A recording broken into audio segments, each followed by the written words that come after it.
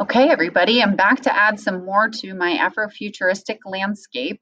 Um, so here I go. I'm going to go to Insert Image, and I'm going to search the web. And I had just been looking for Transparent Bug. I didn't really find anything I liked. I'm going to do Transparent Planet. I found a really funky one that's super cool. Um, so I'm going to, I really like this one. It kind of looks like a marble. And I want to add that to my sky. So I'm going to go up here and click that blue box in the corner and then resize it to make it a little bit smaller by dragging it in. I'm going to go up here and place it in my sky. Um, but it looks really bright and um, I kind of want to make it look not quite so bright so it looks like a little farther away, just like how I made these a little bit darker so they look farther away. So I'm going to go to Format Options and it's got to be selected. So it has to be blue, like it has to have a blue frame around it. And I want to go to adjustments and I can alter the brightness again. So I can make it a little darker if I wanted to. I can make it like a little brighter. Oh, it's a little too bright. Maybe I'll just make it a little bit darker. Maybe I'll make it a little bit more transparent. Ooh, yeah, I kind of like that. That's freaky. And then I'm going to go down and I want to show you the reflection thing. This is really cool. So if you click reflection, oops, hello. Click reflection, look, a little reflection popped up down there. And you can mess with like the distance, how far away it is. Um, I want mine to be really close. And you can also mess with the size. So you could have almost a whole other planet down here reflected. Um, and then you can also mess with the transparency. So you can make it a little bit lighter, a little bit more transparent. So it's just like a whisper of a planet.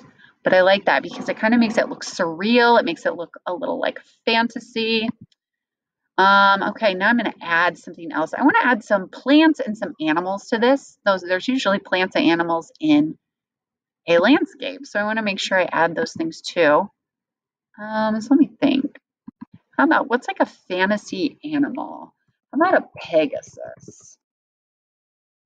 Transparent. And remember, I'm keeping that word transparent because I want to make sure all my artwork does not, or all my little images don't have a background. So let's see here. Ooh, I like this one, but I think I'm going to see if I can change the color of it. So I'm going to make this a little bit smaller. And I want to have my Pegasus flying out in there. Now I can use this. So if this is my Pegasus is selected and I want to make, I want to like flip it or have it pointing a different direction, I can definitely do that. There's two, there's a couple ways I can do that. I could take this box and roll it all the way over here. And now my Pegasus is facing in a different direction. I can also use this box that's got the um, circle coming out of it. If you click on that circle, you can rotate your image. So now it goes up. And I don't really like how that looks kind of like a sticker. I'm going to see if I can go. So I'm going to go back to format options. I'm going to see, I'm going to make that a little less bright. I'm going to make it a little less contrast which means um, it won't stick out so much. Contrast means the difference between light and dark. So I'll do that. I want to recolor this. I want to see if there's another color I can use. Oh my gosh, there's tons of colors I can use on here. Okay, ooh, I like that one. That's so cool. Okay, cool. So I have one, two, three, four items in my landscape here. I need one more, but I want to have something that's like really nice and big up front. So maybe I can do, hmm, I want to do like transparent, like um, desert plant. See what I can get. Ooh, some cacti. Ooh, I like this one.